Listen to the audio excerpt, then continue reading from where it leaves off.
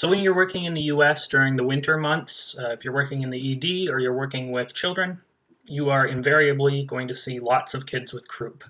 And these kids tend to be uh, two, three, four years old. My little sister used to get croup all the time uh, when she was little. I, I didn't for one reason or another. Uh, but uh, I guess, you know what? Probably because she went to daycare and I didn't. But that's a whole other issue. So we're going to talk about croup here. Again, I just want to preface this that this is very common, so you want to be very well aware of how this presents. The classical presentation, as well as possibly some of the other things um, that may show up that can throw you for a loop. All right, so this kind of goes with our broader talk on upper airway diseases in children. These are all acquired upper airway diseases, um, and these are the ones I thought were most important for the test. Certainly there are other upper airway diseases. Uh, there's more than six. Uh, so I don't want you to think that this is all there are. However, for the test, I would say that these upper airway diseases for children are going to be the most important. And we'll talk about other things like laryngomalacia, tracheomalacia. We'll talk about that elsewhere. Okay, so we're talking about croup here, and with croup, the number one most common pathogen is the parainfluenza virus. So in common with laryngitis, it is a viral cause.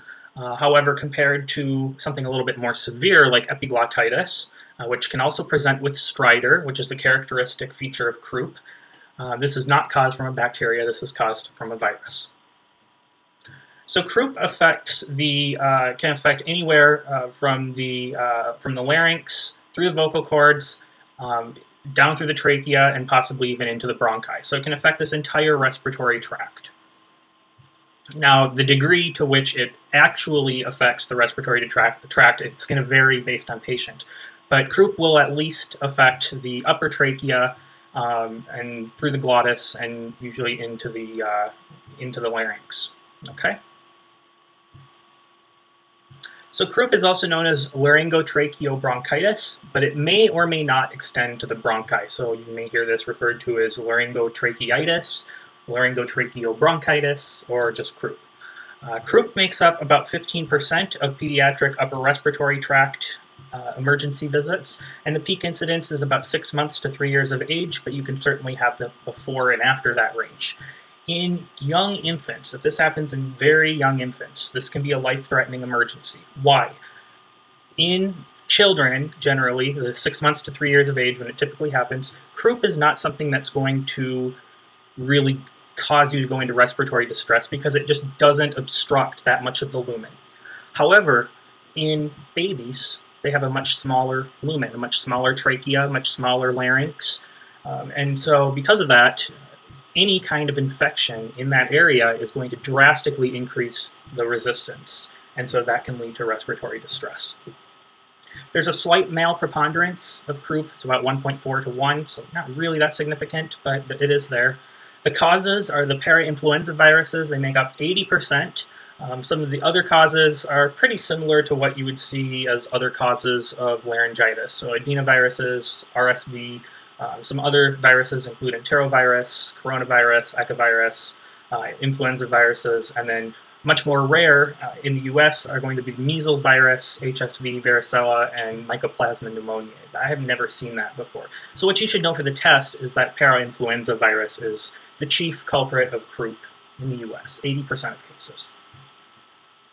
The characteristic presentation of croup is hoarseness, like we saw with laryngitis, but it also has something that we don't see in laryngitis, and what this has to do with is the fact that the trachea is affected as well.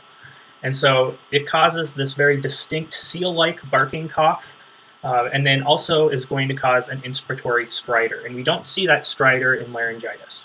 So two things that are really differentiating this from uh, from laryngitis is that seal-like barking cough and the inspiratory stridor. Now, stridor can be a lot of things. There's a huge differential for stridor.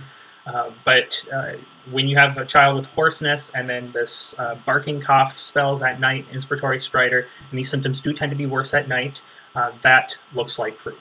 The history is a sudden onset of these symptoms, and that is going to vary from laryngitis, whereas with laryngitis, the hoarseness came on after a viral prodrome. Usually there was an upper respiratory tract infection that preceded the laryngitis. So you have a sudden onset of hoarseness and then the seal-like barking cough. Symptoms are going to be everything we mentioned above, and you can also have some non-specific symptoms such as low-grade fever, which we typically would not see in laryngitis. Uh, the stridor is inspiratory, but can also be biphasic, since we sometimes do have uh, involvement of the upper trachea.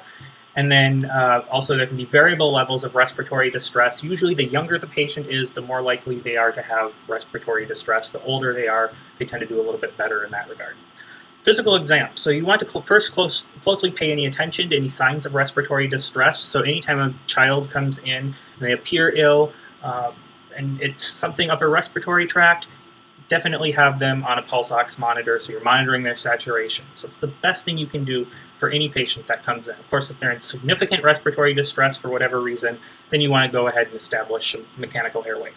Uh, but if there are any signs of respiratory distress, such as cyanosis, which would be severe respiratory distress, usage of the accessory muscles of respiration, if there's nasal flaring, lethargy, and certainly if there's respiratory arrest, then you're going to intubate the patient. So this is something that you need to pay attention to immediately anytime you have some kind of upper respiratory issue in a child.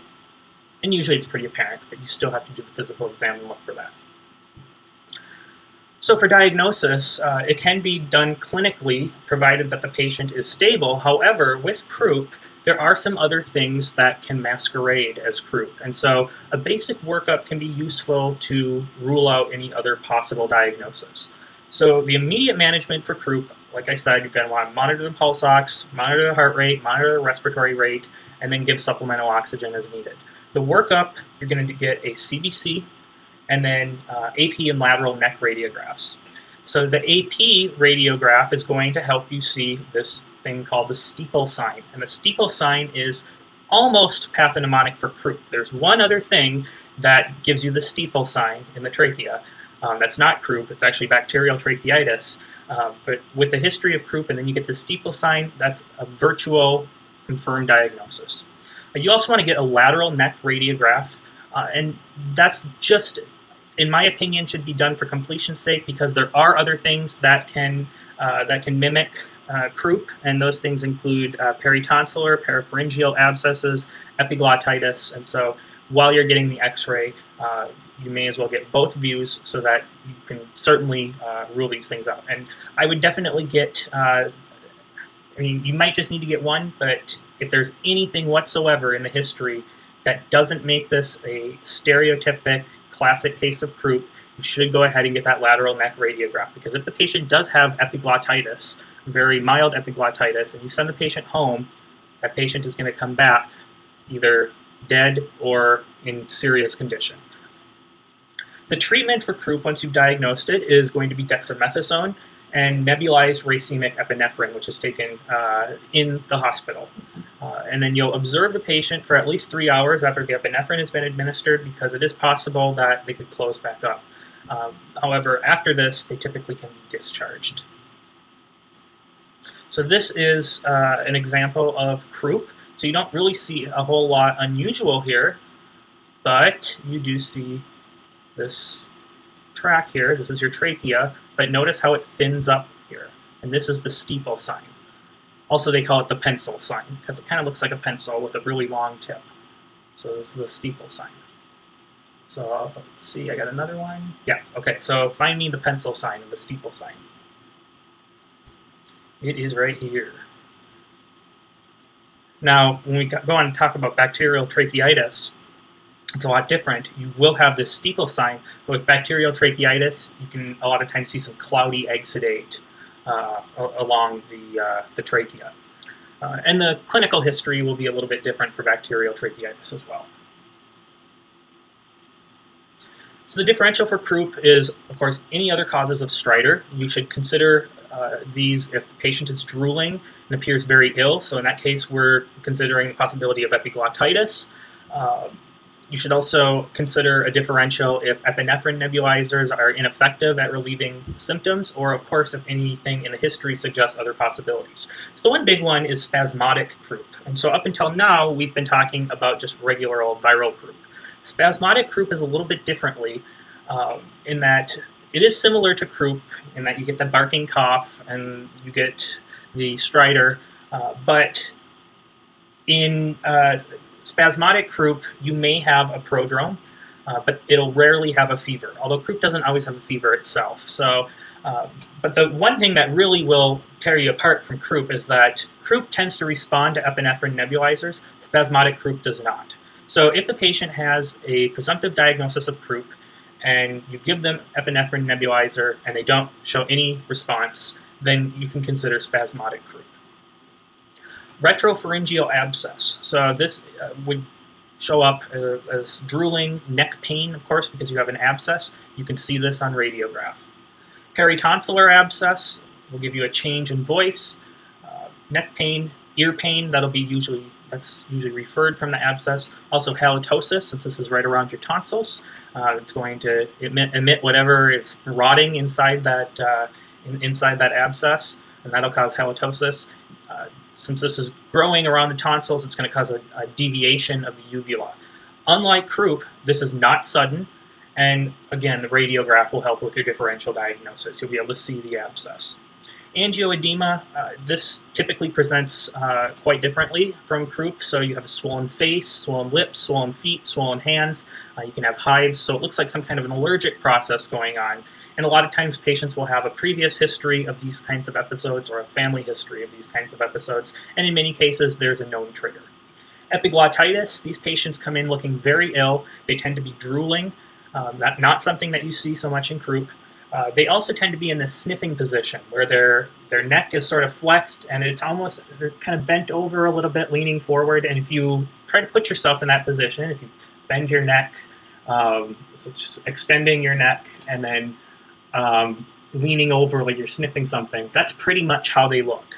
Um, and all of their what they do, you just Google it. It's called the tripod position. I'm not sure if I included a uh, an image of it on here. I probably did on the uh, on the epiglottitis uh, slides, but uh, anyhow, that position is very characteristic for epiglottitis. Uh, and then the thumb sign on radiographs, you'll get a lateral radiograph of the neck, and you can easily find the uh, you can find the epiglottis. it's pretty easy to find because it's right posterior, basically, to the uh, to the hyoid bone. So uh, in the epiglottitis section, I will show you what a normal epiglottis looks like compared to the thumb sign swollen epiglottis, the epiglottitis. A foreign body, uh, usually there'll be a history of this, although the parent may not observe their child putting toys into their mouth and, and uh, inhaling them. Uh, but this will be a sudden onset and you can have, again, things that look a lot like epiglottitis, drooling and respiratory distress. And anytime you see drooling and respiratory distress, boom, you're thinking epiglottitis. So if you don't have a history, then that's going to be the first thing you think of. But one of the things that's going to help you differentiate this from epiglottitis is that there are no uh, systemic signs. These children are not going to have a fever.